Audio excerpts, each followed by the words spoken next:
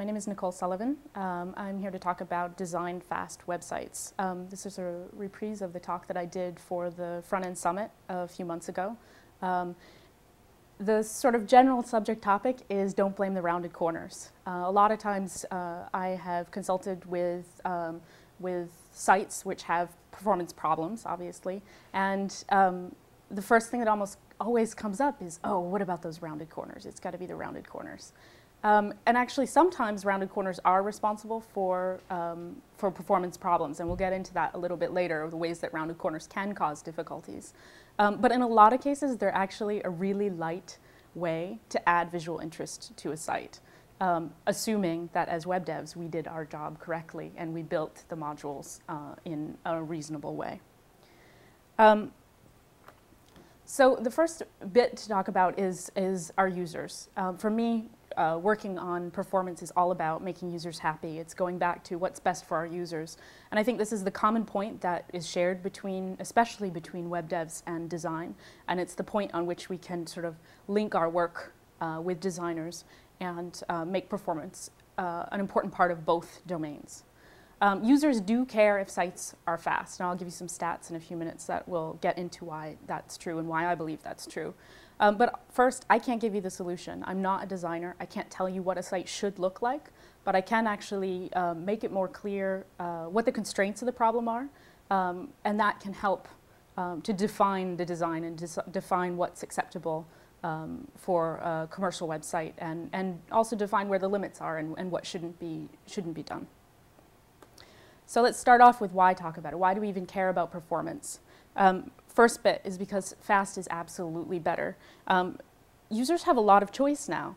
So uh, once upon a time, there weren't that many um, options out there on the web, right? I think we all remember when the first sort of Web 2.0 apps came out, and basically, uh, I think one of them that I liked was uh, list items. And so you could reorder the list items, and it was like, wow, oh my goodness, you can change the order of my to-do lists or whatever. And um, you know, at the time it was a big wow and it was really kind of groundbreaking. But now if somebody did that, they'd just say, ah, whatever, you know, that's, that's no big deal. Um, so we need to focus on performance because if the user has a choice between two sites which offer more or less the same functionality, um, but one of them is faster, they're going to go to the one that's faster. Um, the other reason is because sites are getting bigger and bigger. Um, modern websites have changed architecturally. Um, when we look at some stats about uh, average page size and also about the number of HTTP requests, we can see that it's going up exponentially. Um, from 2003 to 2008, we went from 97K to 312K in the average, uh, average website. Um, we also doubled the number of HTTP requests, the number of objects in the page, so that would be images or Flash or anything else, um, up to almost 50. If we look even just over the last 12 months, um, we can see that the size of sites is going up here as well from 250 to 310K. So we're kind of fighting this exponential increase in, in the stuff we're packing into pages. Um, so we have to be constantly vigilant about performance in order to make that balance. Um, I think another important point to keep in, keep in mind is that uh, more and more users are blurring um, the difference between web apps and the apps that they have on their desktop. So uh, I think your average user doesn't necessarily even think of uh, the latest web app, Web 2.0 kind of, uh, kind of app, as being different than something they've got on their desktop, which means they expect super snappy response. They expect all the data to be already there. Um, these are things that uh, aren't always true in the case of a web app, but if we take into account that our users don't know they're on a web app, um, then we are pushed even further to um, uh, basically to come up with something excellent and fast and cool, right? Um, so the third reason is that time is money. Um, question, uh, we, um, originally there were, there were few companies that were interested in um, doing performance research, but now uh, more and more are, which is great because we're getting to see this sort of cross, um, uh, cross-company information about how performance is, is impactful of user behavior. Um, so one of these tests added 100 milliseconds to a web page. And I think when I first saw that, I thought 100 milliseconds, that's, that's nothing. There's no way that impacts uh, response time. There's just, that can't, that can't impact anything. Uh, but what Amazon saw in their test is that it caused a 1% drop in sales. So when we start thinking that even these really tiny changes in response time uh, can have a, a, serious impact not only on user behavior but, but also on, um, on you know, revenue in the bottom line, then I think uh, these are the, some of the ways that we can start making the argument to both designers who care about users and product who cares an awful lot about, uh, about um, sales and revenue that performance matters to all three of us and, and those three groups together can do a better job. So the next one was to add 400 milliseconds to a website. Um, we can start thinking 400 milliseconds, that's almost a half second. Maybe that would have more impact. Um, and in fact, Yahoo did a test. Um, I believe it was on front page and autos. And um, what they found is that uh, uh, just this small 400 millisecond addition to response time caused a 5 to 9% drop in full page traffic. Um, for people who don't understand, full page traffic is a measure of abandonment. So um, basically, abandonment is when a user just gets fed up with your site. They have waited long enough. They are not going to stay anymore. They're going to press the back button or go to another site. They don't even stay long enough to wait until the onload event of your page. Um, so it's really the worst case scenario. It's a user that's just said, I'm done, I'm out of here. Um, so adding just 400 milliseconds um, can impact the number of users that are, are, that are getting that sort of worst case scenario um, uh, user experience. So adding 500 milliseconds. So this is where most people start to think that, uh, that response time is going to be important. Um, around a half second, they imagine, yeah, that sounds like something I could notice. Um, and what Google found was that just adding 500 milliseconds to a website uh, caused 20% fewer searches. Uh, so this is really big. Users really care about performance. Um, and, and given that knowledge, we can start to look at ways that, um, that we can uh, change the design to improve the user experience and improve performance. So we've got a lot of information, uh, ideas, tidbits, uh, best practices for design. Um, some of them are more difficult to implement, some of them are, are easier, but we'll go through and, and, talk about all of them. First, I want to talk about sort of my philosophy of being a web dev. Um, sometimes there's a little bit of, of um, conflict, I guess, between designers and front-end developers. We, we um, work on the same stuff and, and it's not always clear where the line between the two is drawn. Um, but for me, I look at it as sort of working out of respect for the design. That um, basically it's my job to create something um, in code, but I want it to be as beautiful on the inside as it is on the outside.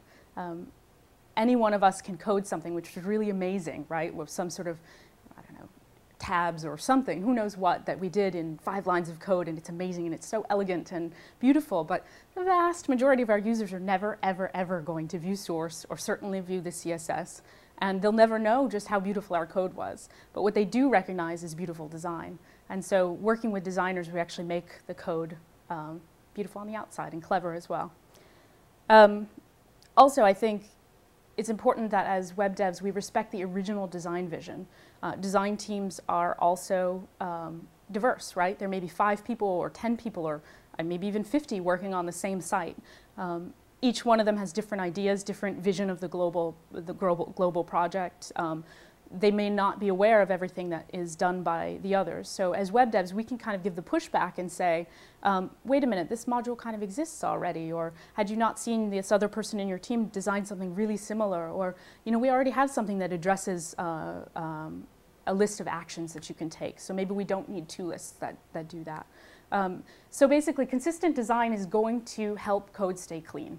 Um, if design is all over the place, the code is almost certainly going to be all over the place. It's, it's a sort of partnership to make a fast site. So these are the nine best practices.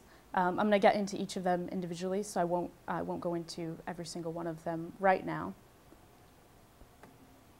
The first is to create a component library of smart objects. Um, the way that I look at a website is almost like little Legos. Um, you want to basically make interesting bits of your site, interesting HTML, CSS objects, which can be mixed and matched in order to create pages. Um, you want to create sort of building blocks of sites um, rather, than, um, rather than creating each thing as an individual element. Before, uh, when CSS was used widely, basically each page was kind of an island unto itself. Um, and each page you could do anything you wanted in it because it had no impact on any other page in the site. And Uh, there was no sort of limitation on, on um, what could be done. Uh, then CSS came along and we started building modules. And each module is an island unto itself, and each one behaves completely and independently. And um, as you add complexity to the site, you add your CSS file grows and grows and grows and grows because these modules don't share anything. Um, basically, what I'm suggesting is we step it back again and we start thinking about what are the objects in our page? Um, what are the basic building blocks of our page? Um, so some of the things that I think of as these Legos or, or, um, or objects are headings, lists, um, module headers and footers, um, grids, buttons, anything else that should be consistent site-wide. So if we start breaking things down not by um, exactly which module behaves in which way, but instead, you know, we have different components that serve different purposes in the site, we can start to get a lot less code and a lot more out of it, kind of one-to-many relationship between the code we write and the potential um, look and feel that we can get from that code. So reusing elements makes them performance freebies. Uh, this is important to keep in mind because um, if we have a list already in the page and we've already called it and we use that list again, it's a completely free element. It has no performance impact for the most part. Um, the reason for that is that we've already got the image in cache. We've already uh, downloaded the CSS that's necessary. If there was some um, functionality associated with it, the JavaScript is already in place for it. So using it again makes it a complete freebie in terms of, of the performance cost it's super important to design the Legos first. Um, we, if we want to move to a point where we're designing objects, we can't be designing pages and we can't be designing modules. We really have to move back to designing the most basic objects, your headings, your lists, your really basic stuff first. And only when that's done can we design uh, modules, containers, things like that. When that's done, then we can use those components to build pages. Uh, but if we design each page kind of individually, it's really hard to get that, that performance benefit.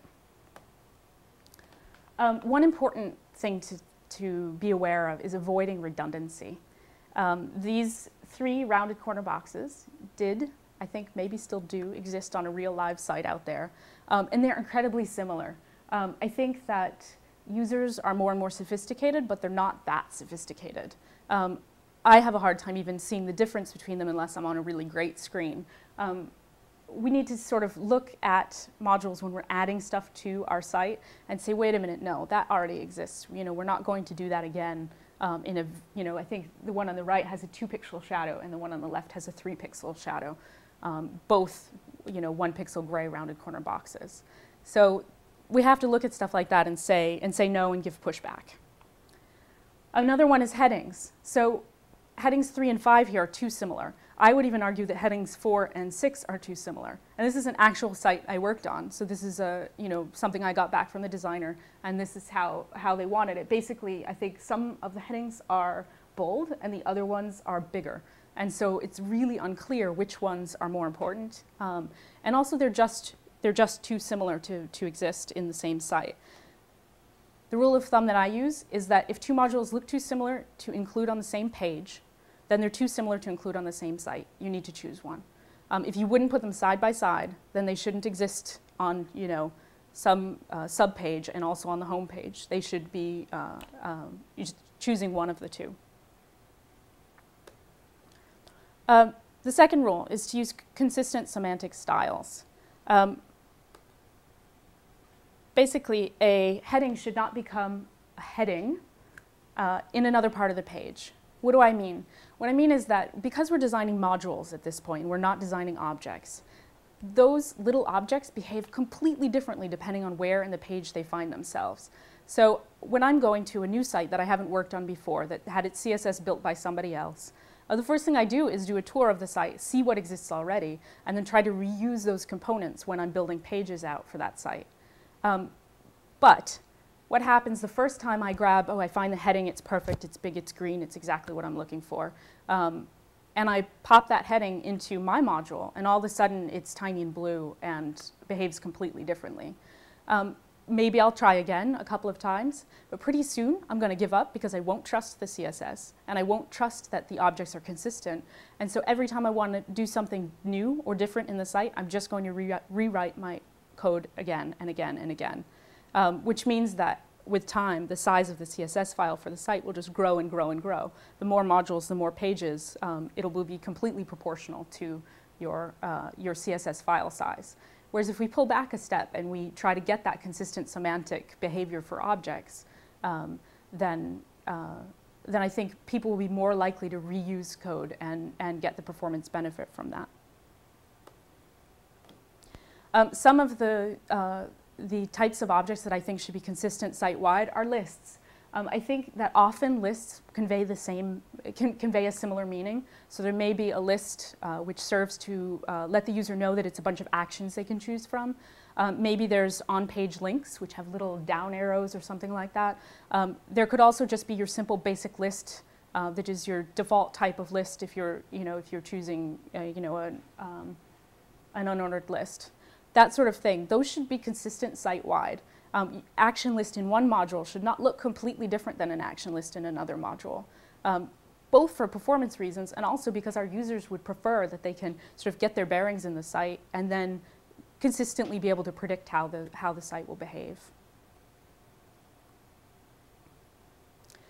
So consistency, um, rewriting rules to overwrite rules that overwrite rules that overwrite rules is really dangerous in terms of the performance of the site. Um, a lot of sites will be extremely high performance on day zero when they launch, and then day 30 or 60 or 90 or you know it could be a couple years, they're a, a total mess. Um, basically, a heading should behave predictably no matter where you put it, and other objects should also. So how about a real life example? Um, this is from personal finance on the Yahoo site. Um, and there are some good things here, and there are some things that are less optimal. Um, so the first one is that there are two different tab styles on the page. Um, maybe that's normal because the upper tabs do seem to be navigation and the tabs on the right are um, tabs in a particular module. But maybe it's not normal. You know, maybe tabs on a site should all look more or less the same. Um, another one is, you know, having different contour blocks which are essentially the same uh, but don't um, uh, but don't use the same images. So if you have uh, if you have a rounded corner box and um, well, it's basically the example that I showed before. We have three different rounded corner boxes. Each of them um, has a slightly different shadow or outline, uh, but not different enough that a user can tell the difference between them. And yet they all call different images and different HTTP requests. And if they haven't been sprited, it's even a bigger performance penalty. On the other hand, there's a couple things that are done really well here. Um, changes in width or in the background image of a module shouldn't necessarily mean that you need to use different images or a different module. Um, there's no reason you can't combine um, uh, one contour with different backgrounds to get uh, a lot more look and feel with uh, a lower performance cost. And that's what they've done here. Um, these three blocks on the side are all uh, using the same, um, the same rounded corners, and yet there's one which is wider, there's one which is sort of standard, and there's another that's using um, the, uh, a particular background image.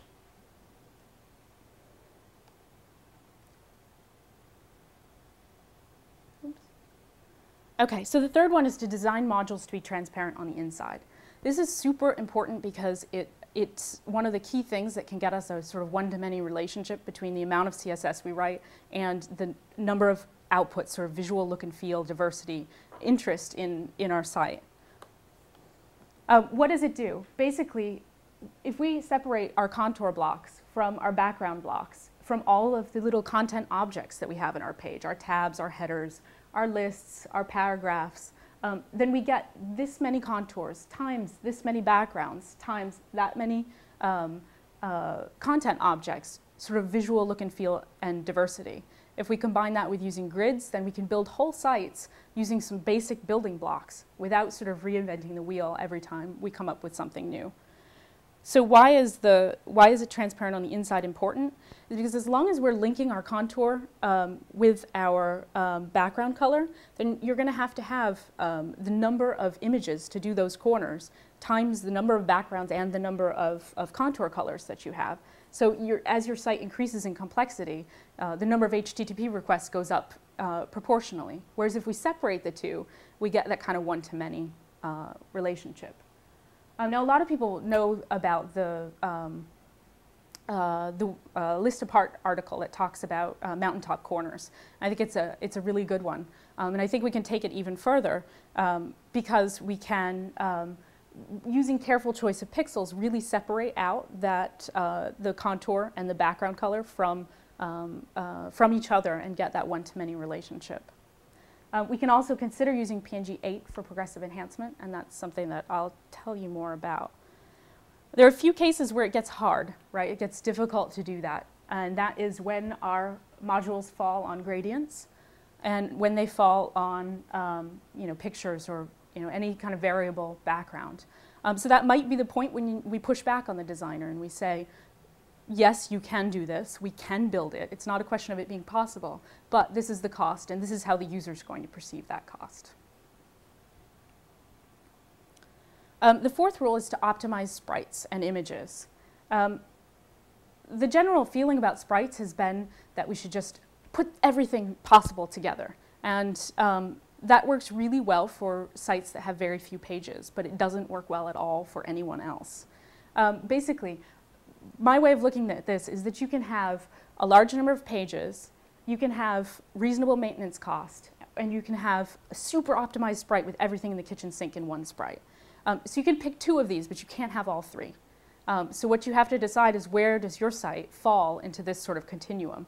Um, if it's a search property, search results page, um, that kind of thing, you've got you know one or two pages. So you can afford to have that super optimized sprite, um, and your maintenance costs will stay reasonable because you just only have a limited number of pages. On the other hand, if it's a more diverse site, I, I, one of the sites that I worked on I think at six months of life had maybe 1,500 different unique pages. Um, part of this is because it was built by uh, lots of different groups. Uh, we basically delivered a CSS and then they built HTML pages without us having any sort of vision of how they were using our CSS afterwards. Also because there was a CMS and so um, content producers could go in and they could put these modules together in, in any way they liked. Um, when you have um, that many pages, you can't sprite absolutely everything together or your maintenance will go through the roof.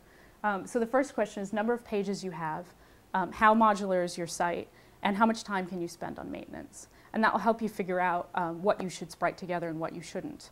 Um, if you fall on the more pages side, you need to do kind of object-oriented spriting, which means you sprite together background images that actually go together. So if you have one rounded corner um, module, you would sprite the, the corners together into one and, and you get a performance improvement from that. But you wouldn't necessarily sprite that sprite together with the other sprites that do all the rounded corners from the other modules. That way, later on, as the site evolves, we say, oh, you know, that module, we don't want it anymore. Throw it away. All you do is delete the CSS that belongs to that object and delete that one sprite and you're done. Uh, whereas I see a lot of cases over time where a sprite sort of builds up cruft. It's got all these images and nobody's exactly sure how any of them are being used anymore. Um, and, and doing a little bit of object-oriented spriting if the site has more pages will help to sort of contain that. So there are also nine ways that you can optimize um, images and uh, sprites. The first is to combine like colors. Um, anytime you have, uh, you can stay under this sort of 256 uh, color range, you can often get a big uh, uh difference in size of the images. Uh, the next is to avoid white space, particularly for mobile. Uh, we don't want to have a lot of extra white space hanging around in the sprite. I know it can be more convenient in terms of building the sprite, in terms of maintaining the CSS and some of the adaptability of font size and that kind of thing. Um, but if your site is also being viewed with mobile, especially it's important to think about removing that white space. Um, horizontal can be better than vertical uh, for image optimizations. Uh, another is just to limit the colors. A lot of times we think we need so very many colors in an image, but in fact, uh, we can eliminate uh, a lot of them without a sort of visual difference in the image. Um, the next is to optimize the individual images and then sprite it. Um, so you may actually be able to take you know, one little icon and reduce the number of colors in it and maybe rotate it slightly so you get less anti-aliased pixels or um, simplify the image a little bit. Think about what the user can actually see in the image versus what they can't. Um, and once that's fixed, and once you've fixed all these sort of individual, uh, individual icons and sprites that you're putting together, then you put them uh, in one larger image and then try optimizing the number of colors you have there. Uh, that will help you eliminate sort of automatic choice of, of which colors will be taken out that will maybe ruin one part of the sprite because it just didn't get enough sort of color depth.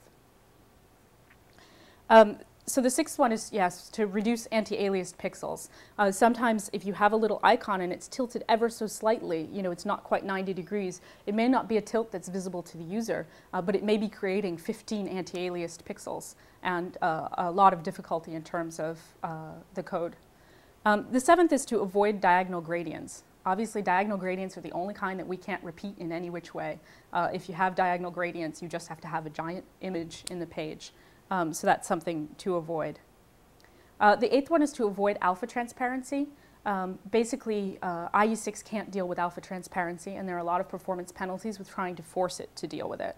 So we want to um, avoid using alpha transparency as much as, as much as possible, and I'll get into some of the techniques for that. Uh, and the ninth is to change the gradient color every few pixels rather than every pixel. Uh, by default, if you, you know, grab a gradient in any of your image editing uh, tools, you're going to end up with a gradient that changes every single pixel. But if the two values, you're going from a light blue to a dark blue or you know, from a white to a blue, don't, aren't so, so different, then often you can change every two or three pixels and the user can't actually see the difference in the, in the gradient that it produces. Um, I think uh, you have to be a little more careful if the two colors are really odd, but I'm not exactly sure why you'd take, for example, red and green and do a gradient between the two. But if you did, you probably couldn't change, um, couldn't change uh, as, as infrequently as that. Um, be careful with uh, logos. They're super recognizable. We see them all the time. We don't even keep, uh, we don't even really take into account how much we, we know logos. You know, I think children recognize um, fast food logos sooner than they do, you know, political figures. Um, so straight away, even small changes to logos will be recognized. If you're thinking about optimizing uh, a site's logo, it's really important to get a, an, an, expert designer, someone who's going to be able to go in and make really careful choices. Um, try progressively enhanced PNG8. It's a really great way to avoid um, alpha filters um, basically, why is alpha image loader used? So IE6 doesn't natively support alpha transparency um, in PNG 24. Um, using the alpha image loader will force that support, but it comes with a, a lot of different penalties. Um, first and foremost, it blocks, the, it blocks the rendering and it freezes the browser, um, and it increases memory consumption. The thing to keep in mind is that it's per element, not per image. So the alpha image uh, loader is recalculated basically uh, on every HTML element in the page that has the, uh, the background image applied to it. So that means that if you did, uh, for example, on your sprite, um, you used an alpha image loader to get you know, the nice alpha transparency, then um, say you use that sprite 20 times in the page, you're going to get that performance penalty times 20. Um, and so very quickly, even small amounts of, of performance penalty and blocking add up to a, a significant difference in user experience. So the best solution is just to avoid it completely. In a lot of cases we can. Um, we can be creative and we can find ways to get around needing uh, alpha transparency. Um, and using PNG8 uh, to create that progressive enhancement is a great way to do that. The fallback, if you absolutely must, use alpha transparency is to use uh, an underscore hack so that it will not be, um, it will not cause a penalty for the better IE browsers that actually do support alpha transparency. So progressively enhanced PNG8. Um, people think of PNG8, and there's a lot of misconceptions about it actually. Uh, people think of it as uh, basically GIF, that it's uh, a binary kind of transparency, either completely opaque or completely transparent. But it's not true uh, PNG8 can actually do alpha transparent pixels. Um, and those are the sort of partially transparent pixels that might make the difference between your corner looking good and your corner looking really smooth and perfect, for example. So up here, if we look at this um, image from the Mountaintop Corners uh, article in A List Apart, we could see on the right-hand side, no alpha transparency at all. Um, it's good, it would look fine, uh, but if we could add those two extra pixels, and this is something designers will often ask for, the slightly, slightly opaque pixels there in that middle part that would give it the perfect, uh, perfectly smooth corner look, um, it would be better. So what we can do to do that is actually create first the image as a PNG8 with binary transparency, and that's going to be sort of the look on the right with either all on or all off. Then in Fireworks, we can go in, and there are a few other open source tools as well. Um, we can go in and we can add in those couple of pixels that would be the difference between it, it looking really excellent. Um, another example, um, we can just decide that, for example, IE6 doesn't need the shadow. What if it could just get the, um, the nice border, you know, clean, rounded corner border. Um, this is a transparent on the outside example. And then all of the other browsers would get that nice shadow. Now, I'm not talking about having different images served to different browsers. I really don't like that. Um, anything that hurts maintenance is going to hurt performance. Because if it means that you have to go in and instead of editing one image, you have to edit three or four, um, straight away there's going to be a, a strong tendency um, to only edit the ones that are used by the, the market leading browsers and not necessarily um, maintain the sort of performance of the site and, and keep a sort of similar user experience across browsers. Um, so yeah, for example, deciding that um, that, that slight uh, uh, shadow would be okay to not have in IE6 can be a great way to provide one image and one set of code to all the browsers, and yet because of this uh, functionality of PNG8, um, IE6 won't see that. Basically, IE6 is going to render any partially transparent pixels fully transparent, whereas the good browsers are going to render uh, partially transparent pixels as partially transparent. So that means you get that both, uh, both the default fallback version and the uh, excellent look and feel version uh, in one image. Uh, experimental data shows that using Alpha Image Loader uh, caused 100 milliseconds of slowness for Yahoo search. Uh, this is really important, right? Straight away we think 100 milliseconds, that's nothing. But when we go back to looking at the Amazon data and seeing that 100 milliseconds was a 1% uh, difference in sales, we can start to say, okay, yeah, right. These design decisions really do impact the user experience, really can uh, make users happier with our products. And so uh, start to take that into account more. It's also important to crush images. Um, I think part of why image optimization hasn't been on the radar in the way it should is because it falls kind of straight in between that web dev world and that uh, sort of engineering world and the uh, design world. And so it's sort of nobody's baby. Uh, but I think everybody owns a part of it, actually. I think there are two basic decisions. The first is what quality do I need? Um, what kind of uh, colors do I need? Is it, uh, you know, a glossy image of uh, uh, Brad and Angelina Jolie on, on OMG? If it is, you probably need a really, really high quality uh, image because people are coming in order to see that glossy celeb photo. Um, if it's something else, you know, could we lower it? So these are the sorts of decisions that live squarely with designers. Um, they need to be helping to make the decisions about what's the right amount of quality, um, given that users will suffer if we add unnecessary quality. Once that decision's been made, then I think there's an engineering effort to be taken into account. Um, basically, there are tons of tools that would do non-lossy compression. Um, and so as engineers, we can take an image that the quality choice has been made, and then we can run lots of different um, compression tools in order to figure out um, what is the absolute smallest image I can get while retaining this quality. So in breaking the, the sort of question of image optimization into these two parts, uh, we can pretty quickly see that both, uh, both engineers and designers have a role to play in, in image optimization. On the other hand, um, there are a ton of different open source algorithms tools out there to crush images, and it can take a lot of time to, uh, to actually crush those images. The reason being that um, for example, if we start off with Photoshop and we do a save for the web, then we have all kinds of choices about quality and image format and that kind of thing to make. Even having made those, we don't really know the final size of the image because um, after we run it through, for example, PNG crushing tools, that PNG, which before in Photoshop said it was going to be slightly larger, is, uh, is actually smaller. And so um, there are too many steps, basically. So what we decided was that this was a job for um, uh, for a machine and not for a human. And that basically we wanted to create a tool, uh, Stoyan Stefanov, Stefanov and I, that would um, that would essentially take your images, assuming you made your quality choice, and then pass them through a whole bunch of different um, open source tools to optimize the quality. Then take the best result and give it back to you. It's a really simple tool, but it saves a lot of web dev time um, in image optimization. So what does it look like?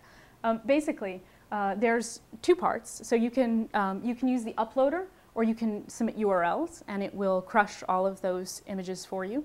Um, or there's a Firefox extension, which is actually really interesting because you can run it on any web page. It will grab all of the different images used to build that page and crush all of them and then give you a report of the results.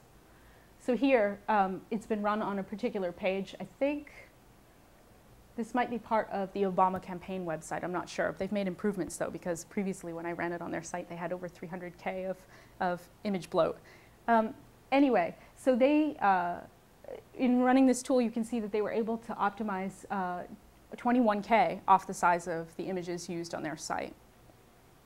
And then um, there's also a zip, which you can download all of the, all of the crushed images. The fifth rule, avoid non-standard browser fonts. Um, there's no way that putting um, text in images is going to be high performance. It's just not possible, especially now with more and more global sites that then need to be internationalized and translated to different languages. Uh, using fonts that don't work in browsers isn't, isn't a reasonable choice anymore. Um, I think that it can make sense as a highlight or as a, you know, a special thing every now and then in a graphic or something like that. But as a general choice for headings and, and buttons and things like that, we need to stay away from uh, non-standard browser fonts. It can also be perfectly acceptable in logos, clearly, to have non-standard fonts. Uh, the sixth rule is to use columns rather than rows. Um, this is something that's important because when you use rows, uh, vertical alignment comes into play. And vertical alignment is something that's really difficult to do um, in a performant way with CSS. Uh, basically, there, there, is no, um, there is no solution to vertical alignment that makes me happy enough to endorse it um, with a CSS-only approach. Um, they all have drawbacks, either performance or maintenance. Um, and having a JavaScript vertical alignment does slow your page down. It's a lot of different DOM accesses to get, uh, to get everything aligned perfectly. So if we have the choice between designing a site that uh, works based on columns and designing a site that works based on rows, we should always sort of go with the, the column layout. The seventh rule is to choose your bling carefully. Um, every market is different. Um, different people in different places prefer a different web experience. So, uh, for example, users in Southeast Asia like bigger pages with more in it, flatter pages, so they don't want to have to click many, many times to get to the content that they're looking for. They want to find one big page with everything on it. Um, also uh, is a sort of a market that prefers um, sort of more flashy images and more stuff going on in the page than I can personally um, uh, enjoy. So that means that when we're choosing what to put in sites and what not to put in them, we have to take into account the market because the right choice made for a site that's primarily used in the US is not going to be the right choice for a site that's primarily used in France or primarily used in Japan. Um, each one of these places is going to have their own constraints um, in terms of uh, how much sort of bling and, and visual interest makes sense in that market. Um, it also makes sense to compare competitors. Um, if your competitor is giving a really, really rich, rich uh, visual experience, then um, you have to consider whether that is what the, the market wants as well. So the eighth rule is to be flexible. Um, think of things as being both extensible in height and in width. Um, basically, your grid should control your width. Um, no module should ever have a width associated with it. By default, when you plug a module into a, a spot on the page, um, it should take all the space that it can, and it should uh, uh, it should take you know sort of all the vertical, sorry, horizontal space that it can. Um, the content in that module should control the height. Um, so, for example, um, I wrote a um, a box that had a header, and you know it was really simple, basic shadow box. I think similar to some of the stuff we've seen already, and um, I was told uh, by the spec that I received that there would only ever, ever, ever be one line of uh, text in the header of this block. And what I said is, that's fine, but I'm not going to code it that way. I'm not going to say this header is 18 pixels exactly all the time ever. Because in just leaving out that little bit of CSS, I took into account the fact that it could have more lines of text later. Um, and a few months down the road, the, um, the project manager added some modules that had that were FAQ modules, and they actually put the question in the header of the block and the answer in the block itself, which straight away meant that they had multiple lines. Um, this is the kind of thing where if we, if we think to the future and we don't just uh, code it so that it will look exactly right as it is now, but we think of leaving open the possibility of what it will look like later, um, then we'll get a higher performance um, site because we won't be doing that sort of coding over rules over rules over rules and exceptions. Um, the ninth rule is to learn to love grids. Um, this one is really important to me, actually. I think that there's no question that any, uh, any web dev out there can uh, code a, a, grid system or can float something to the left and, and put some other content to the right of it. Everybody's capable of that. Everybody's also capable of creating you know, three-column layout, two-column layout. No, no, question that we can, we can all do that. But when we use grids, what we're doing is we're, um, we're getting those performance freebies. We're saying, okay, we've written the ways that you can um, add columns or remove columns, the ways that you can break up your uh, content area of your page into different uh, sizes. And then we're reusing those over and over and over again, which means that we get that performance freebie every single time. Uh, instead of with each module saying, okay, I want this image to the left and this text to the right of it, we're saying, no, we have an object that takes care of the case where we have an image to the left and some content to the right that describes that image. Okay, so I wanted to say thanks to uh, Nate Koechley, who um, listened to this presentation more times than is fair, um, and also to the Yahoo Exceptional Performance team, and to uh, A List Apart, and also to Tom Chi and Dee Adams, who are some UED folks who also uh, to me uh, um, go through these ideas in multiple revisions. Um, so let's keep talking about this. Um, I'm available on the web, Stubbornella, almost everywhere. Um, I'm also writing a book with Stoyan Stefanov uh, with O'Reilly about uh, image optimization. Um, and so look for that upcoming. It will also get into how to, um, how to build image optimization into, um, into your site so that it happens automatically and isn't a sort of after the fact uh, kind of uh, add-on. Okay.